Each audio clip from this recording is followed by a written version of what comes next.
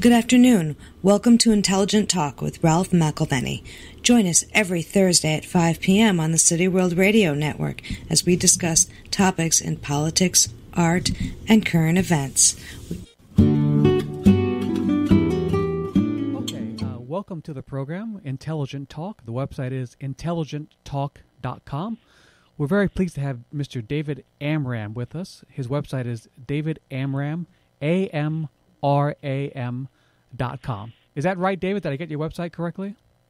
Yeah, www.davidamram.com. Great. So let me just do a brief introduction. And uh, David is a jazz legend. He's a pioneer in the French horn. He's also a piano player, a flute player. He's done an uh, amazing uh, series of things, including the music for the Manchurian Candidate, Splendor as the Grass with Warren Beatty. Um, he was picked by um, Leonard Bernstein to be the first um, in-house. What would you pick for the first composer in residence for the New York Philharmonica? Right, David? Right.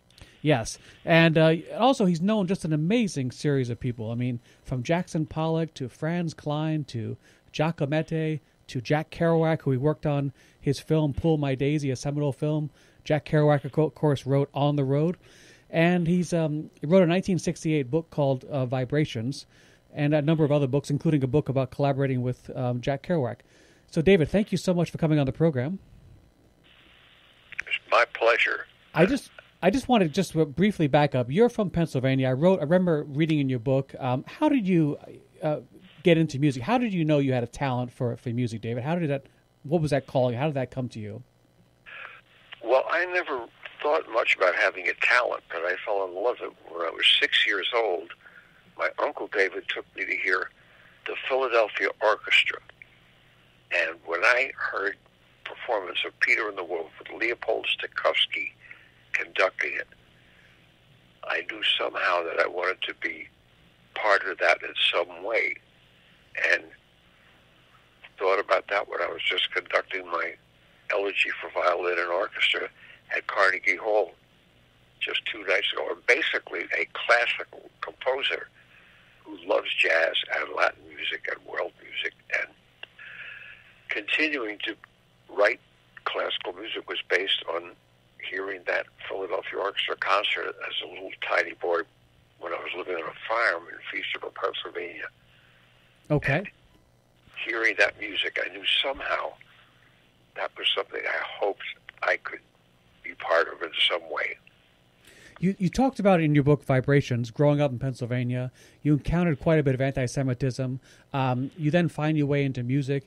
You go into uh, Paris, the 1950s, arguably the highlight, perhaps, of the 20th century Paris in the 50s, or, well, some people would say. You meet such interesting people as, as Giacometti. You met him in a, in a cafe, is that right? Yes, well, it turned out that Giacometti had played French horn, which I did, when he was in high school and a lot of the artists and painters would come to hear me at little places that I played way back in 1955 with the Carmignon and little places in Saint-Germain-des-Prés. And a lot of the painters and artists and writers all hung out with one another. And because I was playing jazz, which they enjoyed, and playing jazz with the French horn, Giacometti was particularly interested because he had been a French horn player, and he was such a wonderful, down-to-earth guy. And because I spoke a little Italian as well as French, I could communicate with him, and he was just a wonderful, warm, brilliant person, and very for real. All of those people that I met at that time and still meet, for the most part, are super for real. Did you did you have any idea he was going to be one of the most famous sculptors of the 20th century? Were you aware of his fame when you were discussing? No, I, I just I had no idea. Okay. Anything about him except he was this very gracious, curly-haired, deep, warm person, and I just liked him so much that I found out later on he never bragged or talked about his fame because he wasn't really interested in that as much as he was in what he was doing. he knew that his the old saying, "By your works ye shall be known," was kind of the unspoken mantra of all of these people that I met. They were really working people that loved what they were doing and wanted to do a good job. Very inspiring to meet people like that and to try to be that kind of person myself as a result. Yes, I mean, you met. I'm just going to go through some of the highlights of people that you met, Dave, and let you comment. I mean, obviously Jack Kerouac, um, who wrote the book On the Road, The Beat Generation. He did the film Pull My Daisy, which was a famous film, and I believe you worked on the music for, for Pull My Daisy, correct? Yes, I, Jack asked me to do that, and he also asked me to appear in it. I said, I'm not an actor. He said, no one else in the film is either, except for Delphine Seyrig. So I said, well, what am I supposed to do? And he said, just be you. That was my introduction to the Stanislavski method, so to speak. Mm-hmm. Except in the Stanislavski method, they would say, just be you, but the you that you are is also the person that you're portraying in the play or the or the film. So therefore, you have to become that person, and that person has to become you. And that way, it's for real. It doesn't look like you're acting. You are you are becoming. Can you tell me, David, what what Jack Kerouac?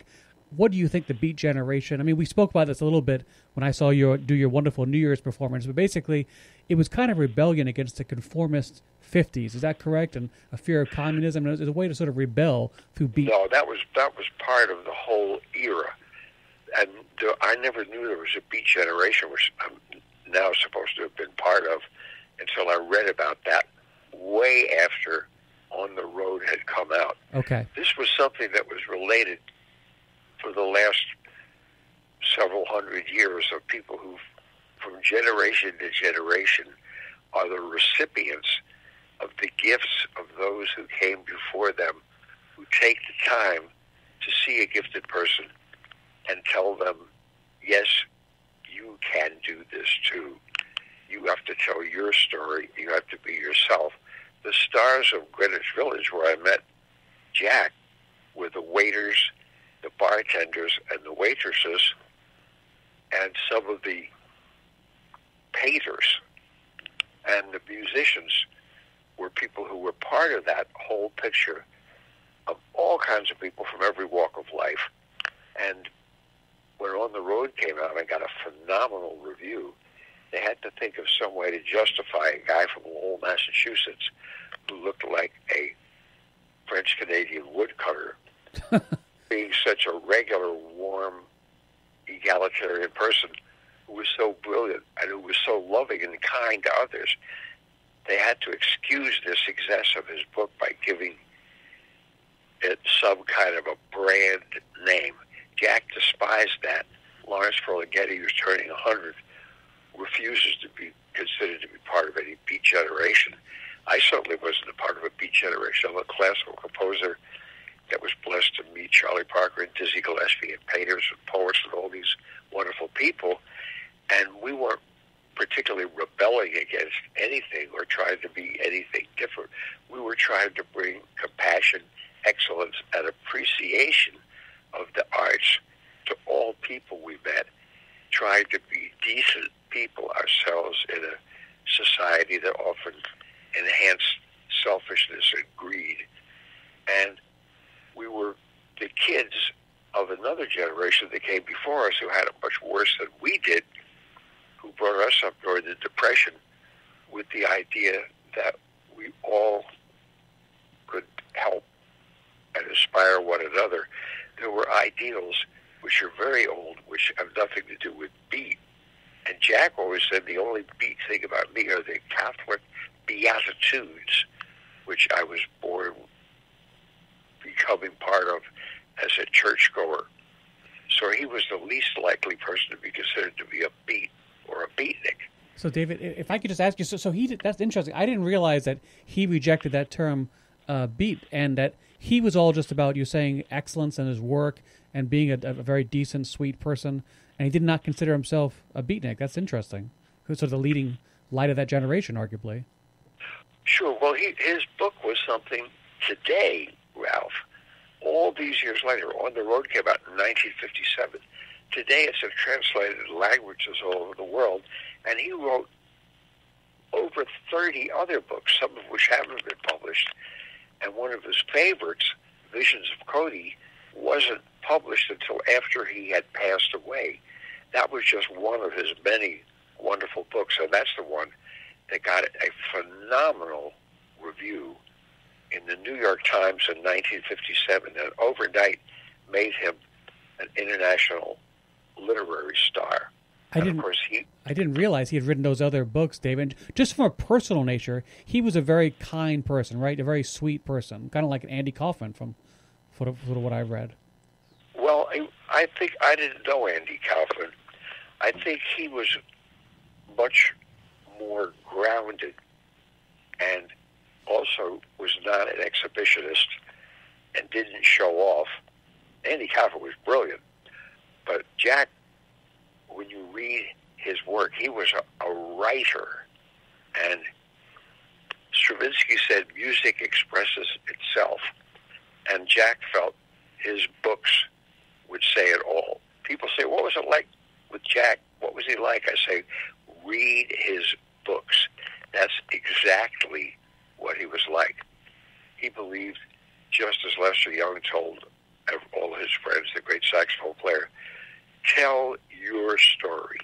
Jack was all about telling his story, and he also loved America in a very special way and all of the people who lived in it, just like the composer George Gershwin, who celebrated the beauties of jazz and gospel and Afro American music and traditional Jewish music and all the kinds of music that he grew up with in Brooklyn, in New York, and made it into something classical and lasting. Jack took all those experiences of everything from hobos to the heads of state, and in his books made his life experiences real by telling his and their story to all of us to inspire us to also try to tell our story. Okay. Let me turn you, if I could, to some of the other people, because there's so many interesting people you interacted with. Arthur Miller, the famous playwright who wrote Death of a Salesman. You you work with him on, on the music on one of his plays, correct, uh, David? I, I worked on actually on two of his plays on the premiere of After the Fall, which opened up the Lincoln Center Theater in 1964, and I was the music director for that for three years. And then he had a beautiful one called Incident at Vichy and that had its New York premiere about two years later. And it was just so terrific being with him because he'd been a boy crooner when his family moved from Harlem to Brooklyn during the Great Depression, the beginning of it after the stock market collapsed and his family's business, everything collapsed. They had to move from a beautiful place in Harlem to in the to Brooklyn, New York, and he worked on the docks, and he sang and was a boy crooner. Just like the director Elia Kazan, he loved Chopin and Bach and Mozart and loved jazz and blues and traditional American musics. He saw the beauty of America. And Arthur Miller also had a great sense of the beauty of all the immigrant people who came here because he still had a sensibility of his forebears who came to this country with the hope that maybe they could do something to make their life a little better and make their kids' life a little better. And Elia Kazanakos uh, directed uh, Marlon Brando and On the Waterfront, that very famous film, which really went on to make Marlon Brando, that and Streetcar Named Desire, so famous. But in, in, your book Vibrations and talking about Arthur Miller, one of the passages that I found interesting, he says to you basically, don't sell out, don't become like a Hollywood guy, don't trade for commercialism. And Arthur Miller had this great center, this root to himself of like talking about the common man and justice, and that's sort of what Death of a Salesman reflects. And did you did you see that in just in speaking with Miller? Did he inspire you to basically not spend too much time in Hollywood and be and spend your time in New York? Was that something that was a guiding light for you? Your time with him? No, he he just said keep it for real. Do what you felt you were put here to do. Okay. That's exactly what Dizzy Gillespie told me when I met him in 1951, when I had just turned 20. because I turned 20 in November 17th of 1950. I met Dizzy, I believe, in January or February of 1951. And there I was a kid, and Dizzy not only spent hours telling me about the diaspora of African American people before they came to America, of the peoples from Africa and all the places they went, and the music that they contributed, and the music that they took with them in their journeys, but also that everyone had a heritage or heritages. They were all precious, and whatever you were born with, you should learn to learn about and love, share that with others, and in exchange, learn what other people had as a heritage, and that they were all precious. And once you appreciated your own roots, you could appreciate everyone else's roots, and you could be a citizen of the world in the highest sense of that word, and be what they would say in Yiddish, a real mensch. Did you collaborate with, with Dizzy Gillespie uh, as well, David? Well, he certainly didn't need me. He was when I met him in 1951. He had made that extraordinary series of recordings uh, with Chano Pozo, one called Cubop in 1947. I collaborated with him several decades later.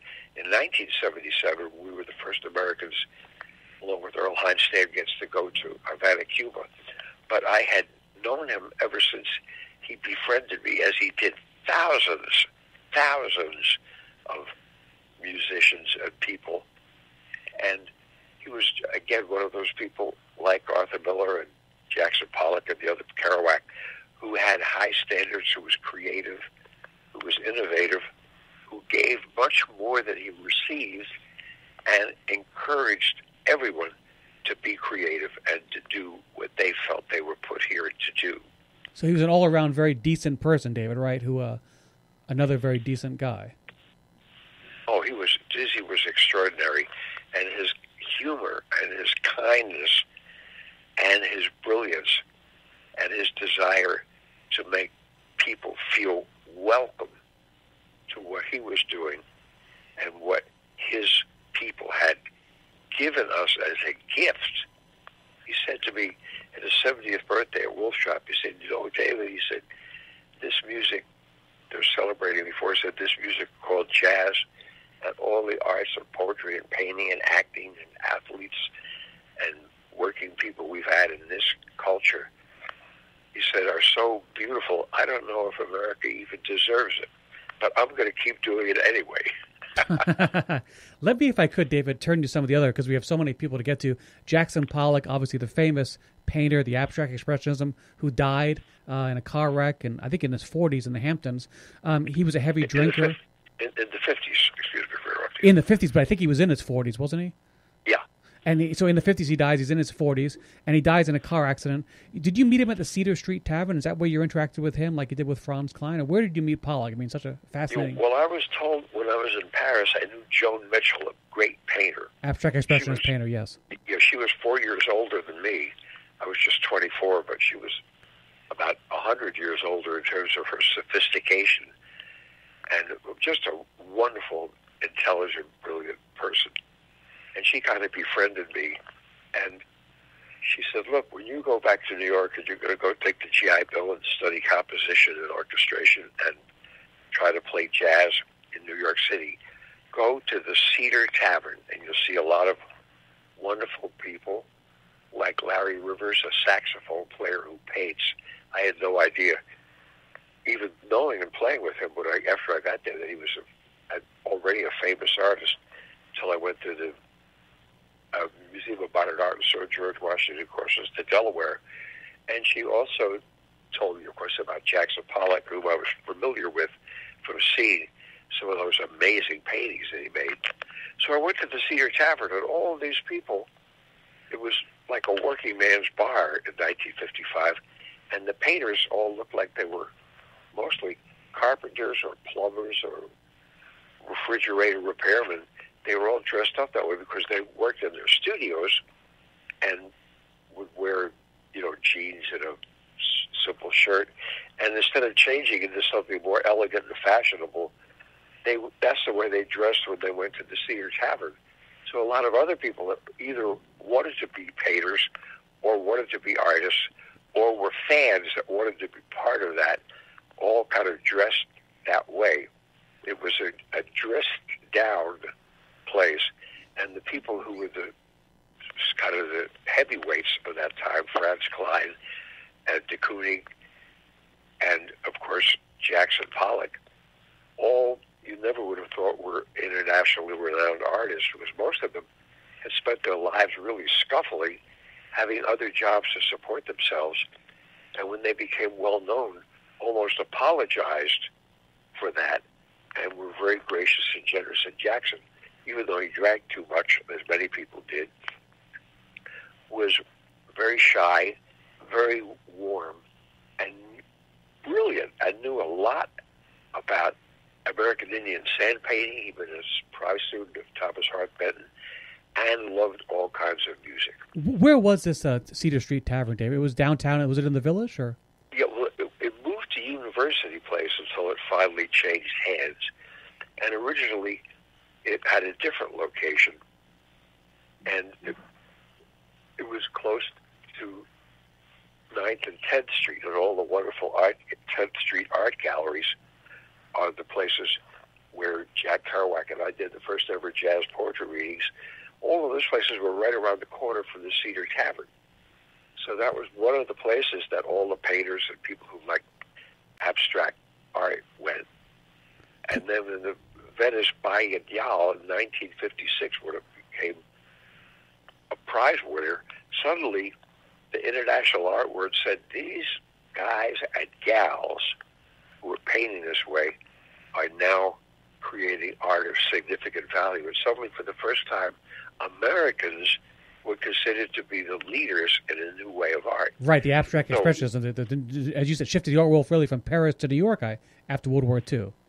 Yeah, and so so all the all the big collectors and very well-to-do people all suddenly started gravitating towards that and going to the Cedar Tavern so they could meet what they considered to be celebrities in a place where the idea of being a celebrity was totally shunned.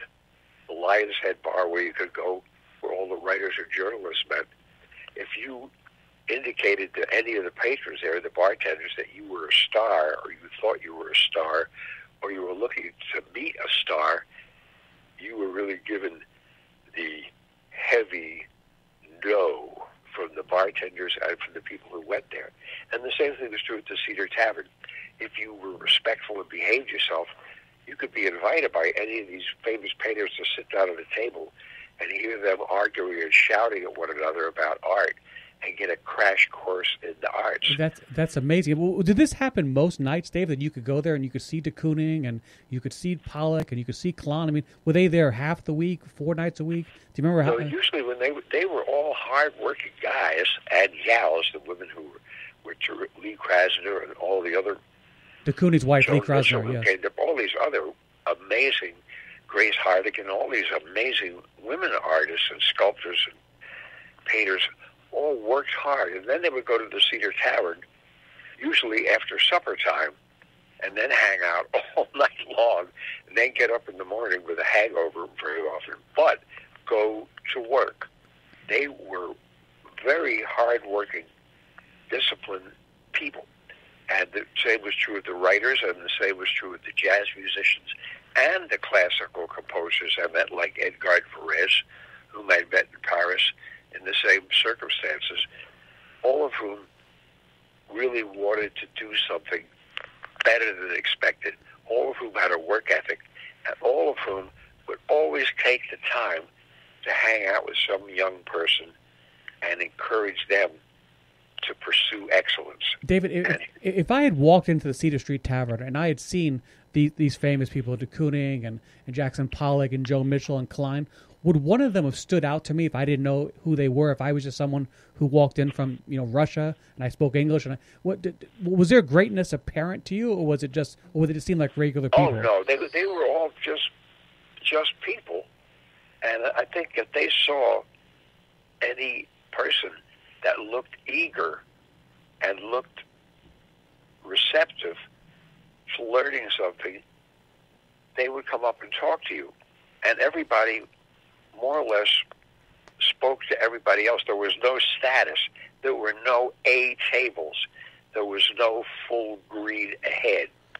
It's, a, it's amazing. That, that, that, couldn't exist today, really, it seems like, oh, right? Oh, oh, it does exist today, and it's always existed.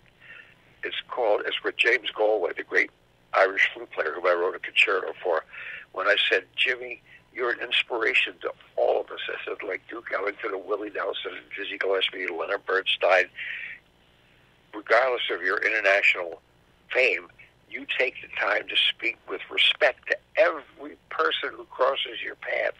Right. And he said, David, where I'm from in Northern Ireland, we don't endorse putting on airs. And that's the way all of these people were. Well, and they went to great pains to stay that way. And if they saw that you were snubbing somebody else and groveling in front of them because they had something that you didn't have that you wanted, some kind of recognition for their work, they would call you out on that and, you know, say, you know, have some manners and go apologize to that person. And don't act that way. You were told that. David, could I just take you in? Because there's so much to get to the 1960s now, where you do the work with um, Splendor as the Grass. You work with Leonard Bernstein, who did, of course, the music for West Side Story. Could you just talk about Leonard Bernstein? What what was he like as a person? I understand he. People say he was quite difficult. Did you find that? No, he was complicated.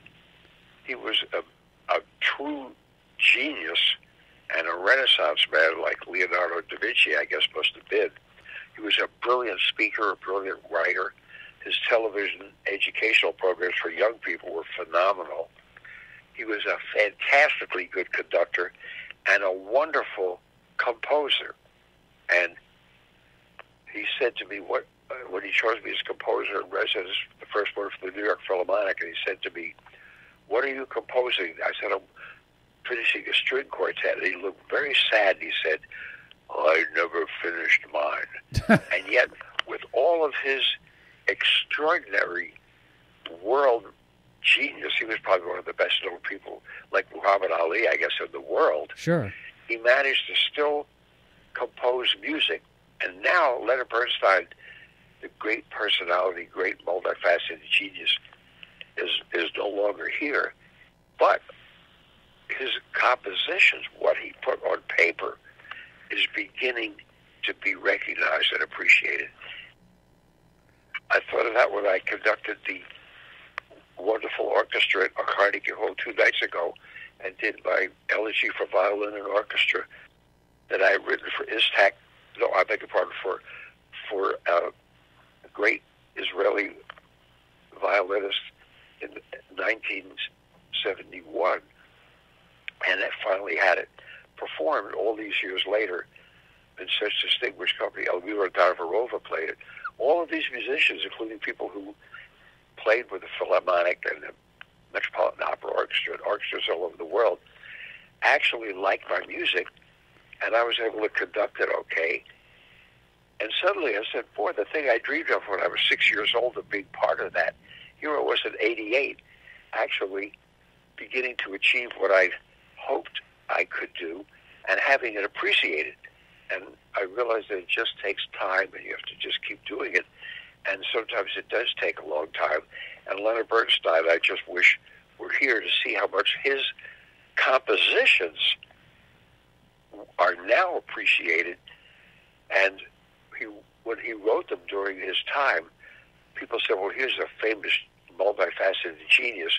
But he's not really a composer. He's a jack of all trades. Right. Now people see he was a very gifted person with many ways of expressing those gifts. Let, let me just sorry. Let, let me just if I, if I, could just just turn to the movies, David. Like uh, talk about like if you could talk about the Manchurian Candidate. Some people think Trump was Trump is like a Manchurian Candidate for Putin, but I mean you look at uh, Frank Sinatra as a starring role in that. I think John Frankenheimer directed that.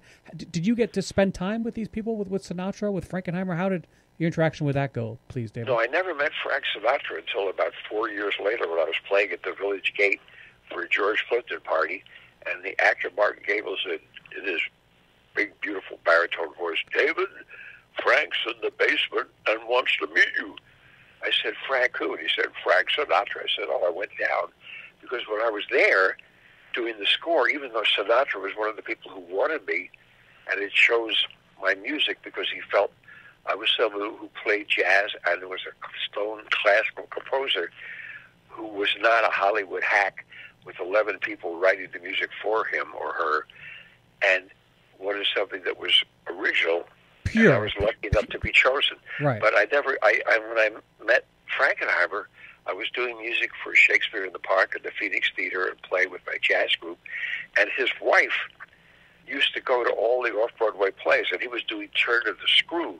Which Ingrid Bergman was in won an Emmy on television, and he wanted something that sounded sort of like 19th century neoclassical music. And she said, "Well, there's this young guy, and I've seen his music in all these different productions, and he can write that kind of music." So even though I was totally unknown, he hired me to do the music for the that Emmy award-winning television program, and then I did some more with him, and then he had me do the music for the Young Savages in 1960. So when On the Waterfront had come out as a film, and they had taken Leonard Bernstein, and Kazan had done the same thing with me that he did for Bernstein, and had me do Splendor in the Grass as a total unknown, in spite of the fact that Warner Brothers didn't want some unknown person, and it came off so well. When The Manchurian Candidate was made in 1962, they started working on it. I was chosen by a miracle to do that, and because Frank Sinatra and Frankenheimer were so strong, even though the Hollywood studio said we don't want that guy, he's, he's some kind of a weird freak that plays bebop and writes symphony music. They were more or less forced by them to use me anyway. And Frankenheimer said, David, just remember two things. It's not a Chinese war movie, and do what the film tells you to do.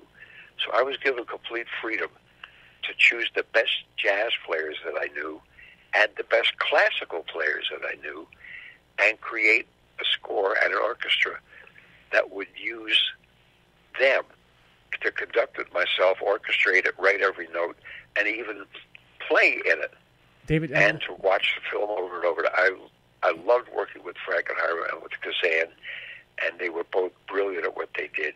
And they gave me a chance to do the best I could do, and they had the high ideals that I try to emulate today. And they didn't want a hack. They didn't want to use the Hollywood system where you have five other people doing everything and keep changing it around. And I was very fortunate to work with people like that. And that's why I never stayed in Hollywood because I realized I would be out there and either have to do some trash that I didn't want to do or have other people write it for me or worst case scenario, become a ghost writer for the next day with Amram when they got sick of me. So that's what I was going to ask you. You don't regret then not being more commercial, David, and doing more films and sort of selling out, if you will. And, no, I've done some some uh, wonderful films. I just did a film score for Barbara Kopple, who won two Oscars. Wonderful documentary film about immigrant people. But Barbara does her own films the way she wants to do them. She loves making films. She loves what she's doing. And in spite of the fact that she won two Oscars, she didn't do any kind of junk and trash because she felt she could move to a different level. She did what she felt and still does. I just saw her the other night. She still does what she loves and feels she was put here to do. Yeah. And she's so idealistic and so brilliant and so full of life and does such wonderful work. It's just a thrill to be with someone like that. And there are a lot of people like that who aren't even in the arts, who are plumbers and lawyers and doctors and airplane pilots and and uh, cooks and chefs and school teachers and bus drivers who go that extra mile to do what they love to do and try and do a good job. And that's what I'm trying to do, and that's the kind of people, for whatever I have to contribute, who inspired me to try to keep it for real and to try to do better than is expected. Uh, David, just um, going back to the, the 60s, if I could, because when you end your concerts, you always say uh, nice things about not valuing, because I've, I've been to several of your concerts, not valuing money and putting people first. And it's, it just is a very nice message of the 60s. And of course, you really had a, a part in the 60s in the music and the culture. What does the 60s mean to you, and what have we lost in Oh, today's well, I generation. say, I never said don't value money. Oh, sorry, whatever you said. I, I mean, I'm still working hard. I get paid. it's a thrill. I think you said value And the I- person, and not the and I spend every cent trying to survive and give my hope that I can help out my grandson, who's now five. So when he goes to school, he won't have to have three day jobs, or at least he can get some help. And I also am a fanatic about paying everybody who ever plays with me, whether it's a chamber music concert or a recording for a, a film or a recording of my classical music or playing all the crazy gigs that I do at festivals all over the world when I bring someone or some people with me to make sure that the band gets paid whatever I promised them they would get, regardless of whether I get paid or not. So I never take a job unless I have enough in my savings account to pay the people that night. And if you do that long enough, people know you're honest. So um, I just think that money is supposed to be something that you use to survive, and that if, in terms of owing other people money, you should always pay your bills on time, and and also always try to get what you're worth, but not be dictated by those who have an addiction like a drug addict or any other kind of person who's addicted to money where they think that the money is what determines anything. The money is what you get for the work that you have done. So the idea, I think, for any kind of person, not just an artist, is not to figure how you can get the most money by doing the least, rip people off, abuse them, and then go out of town. The idea that the sucker's born every minute is not a good mantra. Yes, well, I, oh, I, I oh, just meant in terms of the 1960s uh, and what you felt that generation represented versus today. Well, I think the generation that I could see at that time of young people who were galvanized and felt that they, very often being the first people in their families to be able to go to college, were getting educated in a different way, and that they felt that even if they loved their country, perhaps this that particular war in Vietnam was unjust and crazy, and really something that was a mistake. And they questioned what none of us ever questioned. You know, Franklin D. Roosevelt to all of us growing up during the Depression was like a god.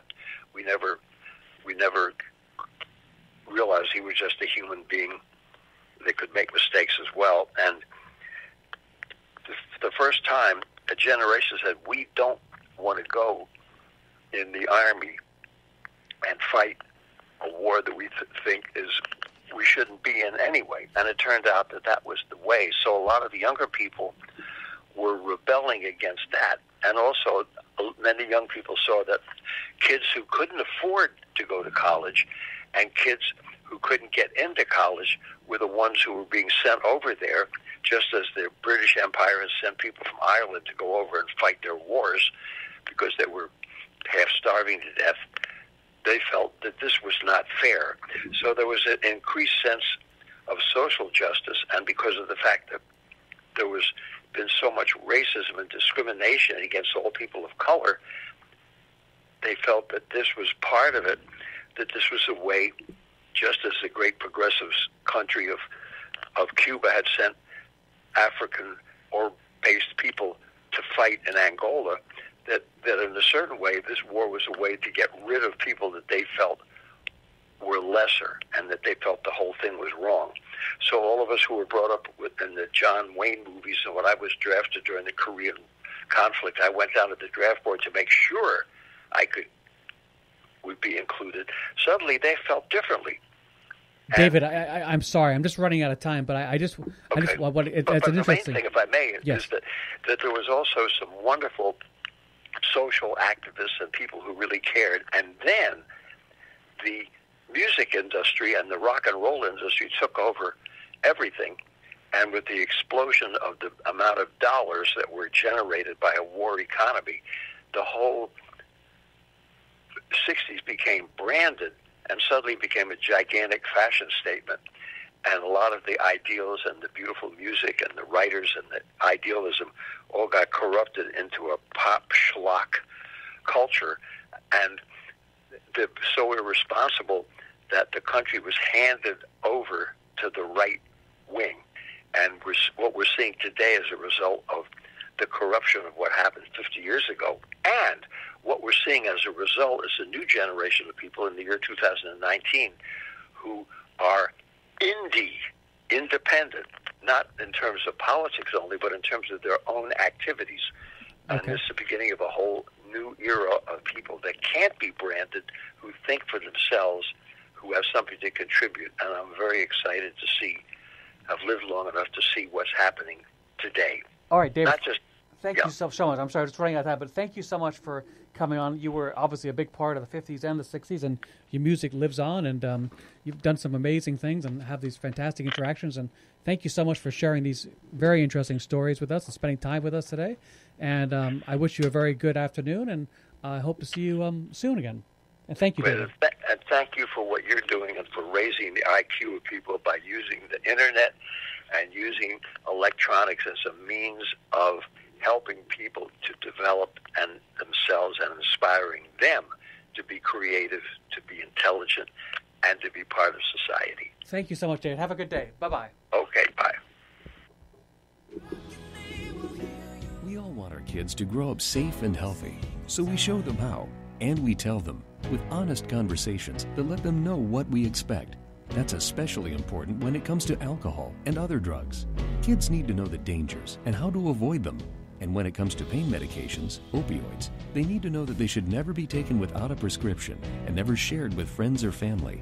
It's dangerous and illegal. So talk with your kids, because when you talk, they hear you. Yo, what's going on? Y'all listening to Skye's Crescent Radio, and here's what's coming up. On the first Sunday of the month, we have the Poet Podcast with Dale Novella. On the second Sunday of the month, we have the Soul Tree Spotlight with Earlene Stephen, and we also have Keeping It Funky with Troy Weeks. On the third Sunday of the month, we have Boozy News with Supreme Bars. And on the fourth Sunday of the month, we have What's Really Good with Jeanette Berry and Clout Dealers with the label Noir. And every